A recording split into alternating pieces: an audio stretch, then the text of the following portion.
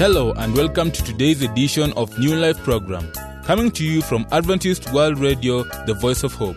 I'm your host, Tilen Odhiambo.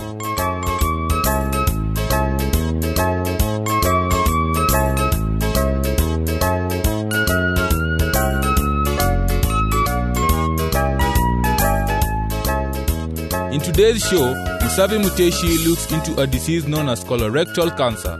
Pastor Kigundu has prepared another interesting topic still on the stewardship series entitled Investing. We have great songs also lined up for you, so be sure to keep it the voice of hope.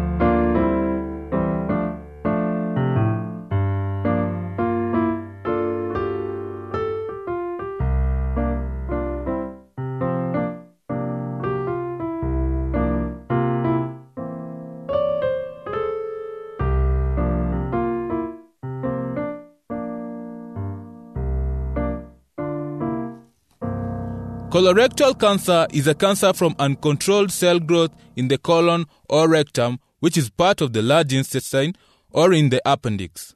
For more on this, let us invite Musavi Muteshi for the health segment.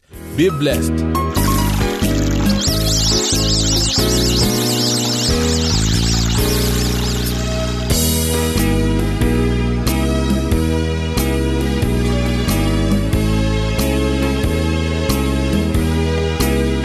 Hello, listener. Welcome to our program Health Nuggets. I'm your presenter, Musavi Muteshi. Today, I would like to talk about cancers of the colon and rectum. Colon cancer is a cancer of the large intestine, the lower digestive tract, and rectal cancer is a cancer of the last several centimeters of the colon. Cancer in these areas are often referred to as colorectal cancers. A new study finds that the number of people developing this type of cancer worldwide over the past 20 years has markedly increased among both men and women.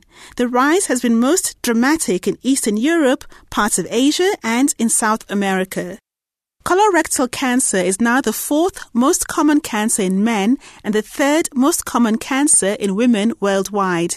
As examples of how dramatically the diagnosis of this disease is increasing, in Slovenia, the incidence has increased 70% in men and 28% in women in the past 20 years.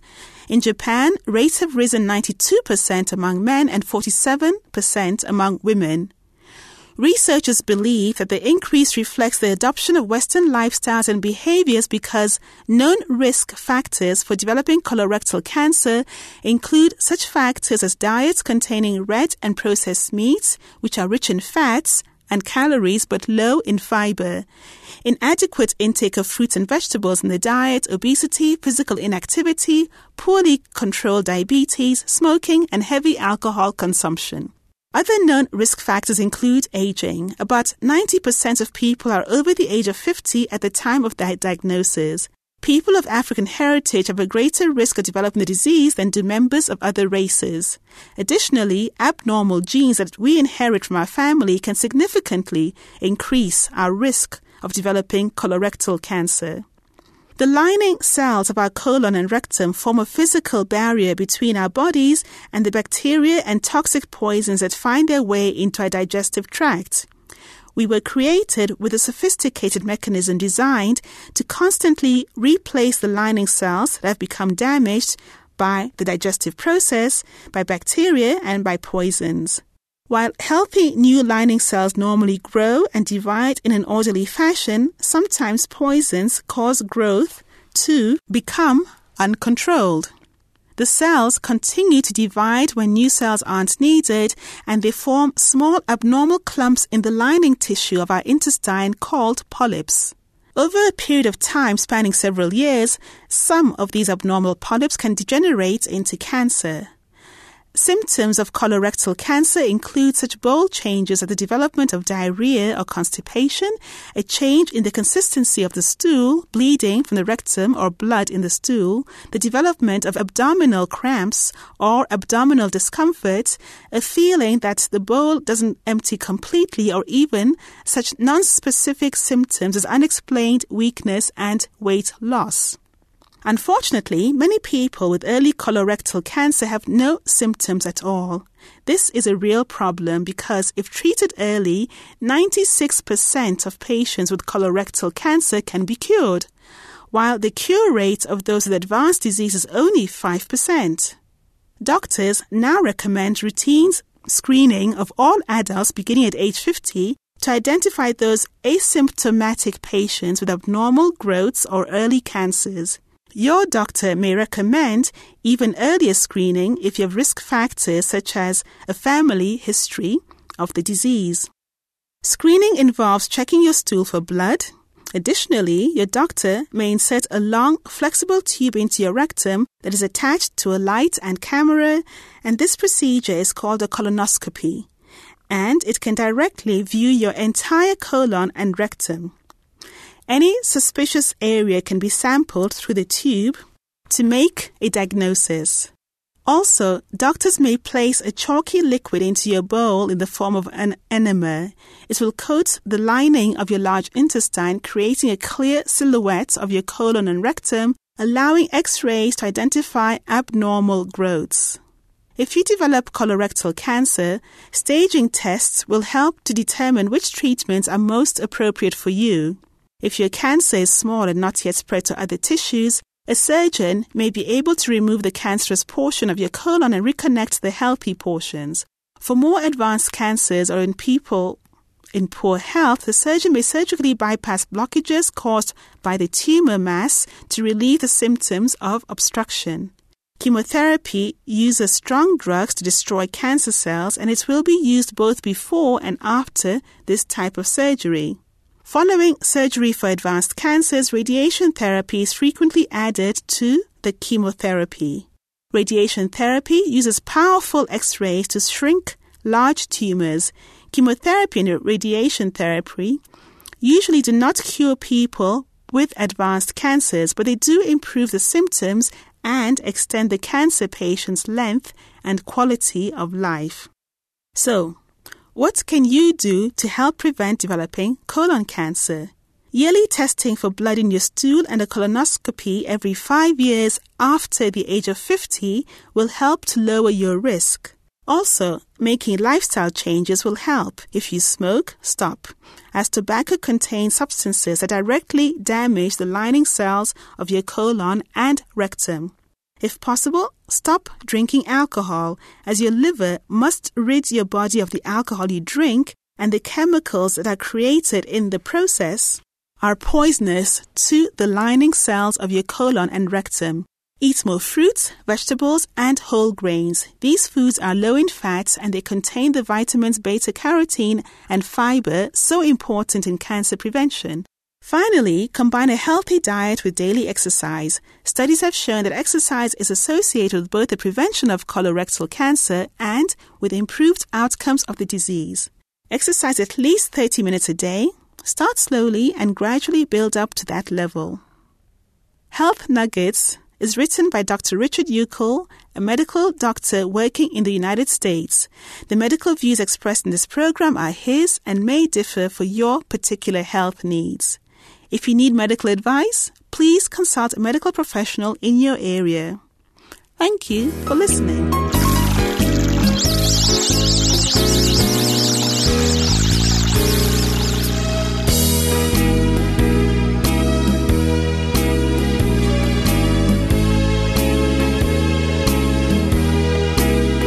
Receiving your letters is always encouraging. If you haven't started sending, then it is never too late. Let us know how you feel about this program by sending your views, comments, and suggestions to the producer Adventist World Radio, P.O. Box 42276, code 00100, Nairobi, Kenya. Our email address is awrnairobi at eau.adventist.org.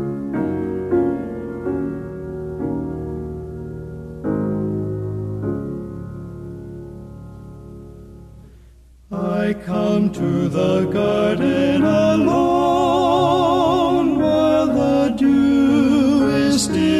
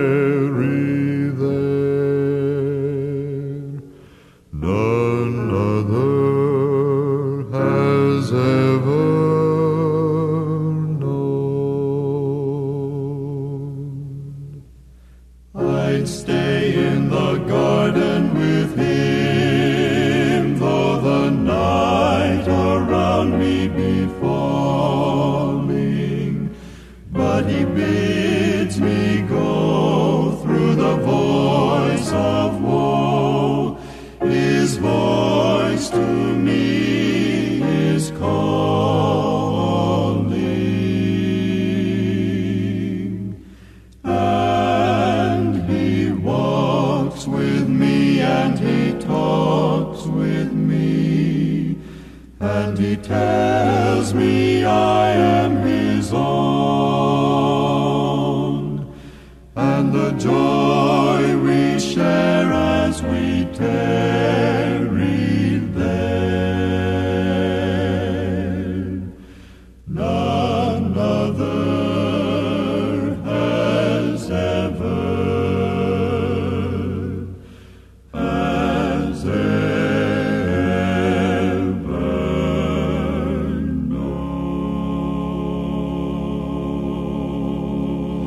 Thank you for keeping it Adventist World Radio, the voice of hope. This is New Life Program, and I'm your host, Tilen Odhiambo. Pastor Kigundu Ndwiga now joins us with the topic investing.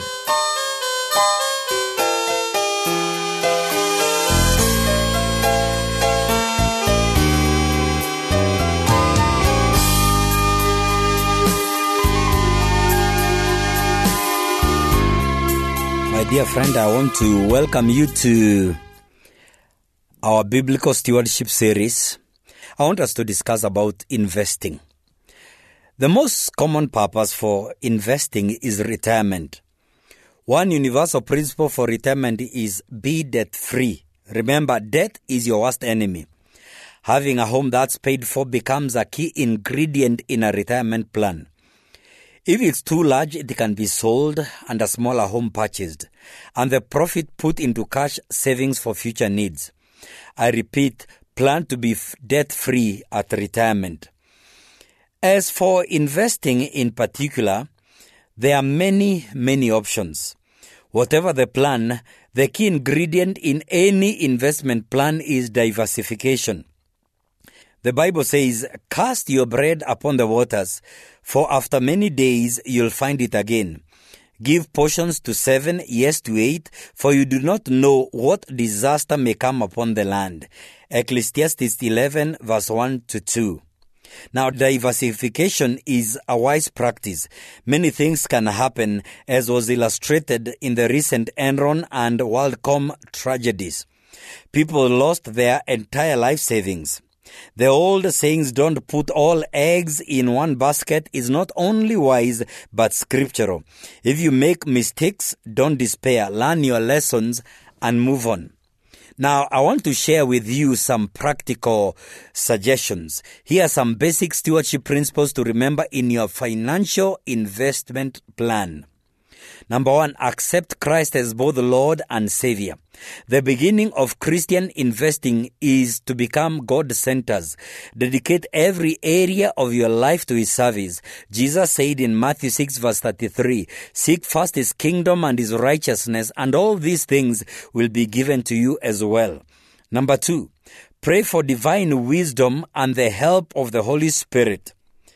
Remember, all planning begins on your knees, as close to the cross as we can get. James 1 verse 5 says, If any of you lacks wisdom, said the apostle, he should ask God, who gives generously to all without finding fault, and it will be given to him. Number three, study Bible principles. Dear listener, there are more than 2,600 texts in the Bible dealing with money or money management principles, more than faith, prayer, love, and peace. It's an important topic, and God has given us ample evidence. Read the book of Proverbs and Second Corinthians for starters. Number four, work with integrity and excellence.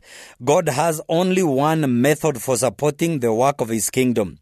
His people using their skills, that is both acquired and natural, to work with excellence and honesty. They are paid for their work. They in turn return to Him tithes and offerings as He blesses them. Then the cycle continues. Number five, develop a heavenly mentality. Focus on heaven and eternity. My favorite author, Ellen White, says you need ever to cultivate spirituality because it is not natural for you to be heavenly minded. Number six, give tithes and offerings. You need the blessing of God along with wisdom from above to live a life that will honor your Creator. Provide for yourself and your family and support God's kingdom. Number seven, budget to save. Don't just prepare a budget. Dear listener, when you prepare a budget, make a budget that includes saving. Number eight, please be debt free. Make a list of every debt from the largest to the smallest payoff amount. Next, concentrate on paying off the smallest outstanding debt. When it is paid off, go to the next one on your list and use the amount saved from the previous debt to accelerate payments on the next ones. Once your consumer debt is paid off, focus on uh, the next debt, and once that is paid off, pay the amount of, of the next debt until all the debts are finished. Number nine, get educated about life and its details. Please read books, go to seminars, listen to people you believe to be wise. Then please make your best decisions. Our decisions based on knowledge helps us protect God's goods. Number 10, please have an investment plan. Begin saving for your children's education when they are born. Then, when they are school age, you'll be well planned for their education needs. Someone once said of parents, We are not responsible for our children's choices, but we are responsible for their training. 11. Please have a retirement plan. Start now, not later. Use compound interest and time to your advantage. The younger you are when you start, the more interest you earn, and the faster your retirement funds will grow. The final answer I want to give you, my dear friend, is that remember many people live on 110% or more of their income. The difference is made up by the use of credit. Now, unfortunately, sooner or later, this will catch up with us. Saving and living below our means is a wise choice. Life is a risk, and so is investing. Nothing, dear listener, I repeat again, nothing is completely without risk. Your tolerance for risk will guide your investment choices and the way you mix your stocks, bonds, and cash instruments. And also remember, age will be a consideration when you're working on your retirement plan. Please maintain a long term perspective. Be patient and stick with your plan. And take advantage of your employer's retirement plan. And remember, Proverbs 21 verse 5 says, steady plodding brings prosperity. And now, please be careful about your advisors. A lot of people give investment advice. Often they have products uh, to sell that cloud their advice. In marriage, God often puts opposites together to broaden our lives as well as to give us another perspective. So remember, your spouse may be your most valuable counselor. The other thing I want to talk about the retirement plan, please review your plan annually. Things change as we go through life. Health, occupations, children, and other life elements will modify how we plan. Review your goals, budgets, income forecasts, and expenses for the coming year also project into the future to when a large expense or a long-term planning may be necessary, such as a daughter's marriage, college, their study, a new car, etc. And please plan accordingly. And please have a will. Plan a will. Remember, we are all mortal. Eternal life for most of us will be on the other side of resurrection.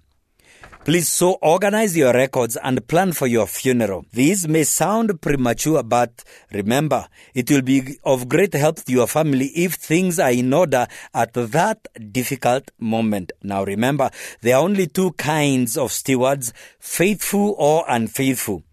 When Jesus told his disciples to store up treasures in heaven, that is in Matthew 6 verse 20, he was assuming that his listeners would be faithful stewards of material and spiritual riches he was about to bestow. Now, those same principles are as true now as they were then. Just as firmly grounded on God's wisdom, love, and faithfulness. Our present happiness, dear listener, is in doing God's will.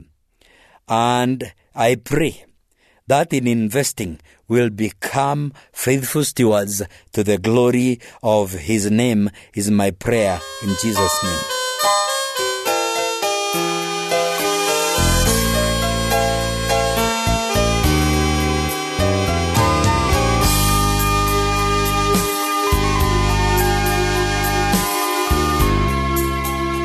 That brings us to the end of our program today. Hope you have been blessed. We would like to know your views, comments, and suggestions about this program. Send them to the producer, Adventist World Radio, P.O. Box 42276, code 00100, Nairobi, Kenya. Our email address is awrnairobi at eau.adventist Join me again next time, same time. Until then, may our Lord keep you safe. I have been your host, Tilen Odhiambo.